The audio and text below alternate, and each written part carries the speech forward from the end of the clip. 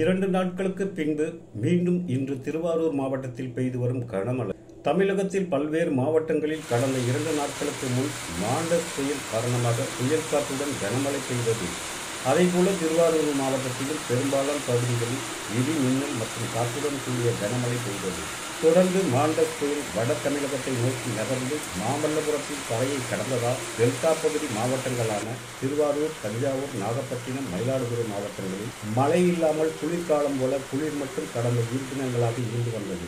இந்த நிலையில் இன்று காலை முதல் வெயில் அடித்துக் கொண்டிருந்த நிலையில் மதியம் திடீரென மேகக்கூட்டங்கள் ஒன்று திரண்டு திருவாரூர் நகரப்பகுதி மற்றும் சுற்றுவட்டார பகுதிகளான வண்டாம்பாளை சேந்தமங்கலம் புலிவளம் கமலாபுரம் கண் கொடுத்த வணிகம் கூத்தாநல்லூர் பேரளம் பூந்தோட்டம் மாவு நன்னிலம் குடவாசல் உள்ளிட்ட பல்வேறு பகுதிகளில் பலத்த கனமழை தொடர்ந்து இரண்டு மணி நேரமாக பெய்து வருகிறது.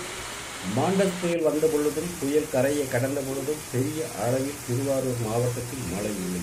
ஆனால் இன்று மாவட்டம் முழுவதும் பல்வேறு இடங்களில் மழை பெய்ததால் சம்பா சாகுபடி செய்த விவசாயிகள் பயிர்களில் உள்ள பூச்சி தெரியும் என்று மகிழ்ச்சி அடைந்துள்ளனர்.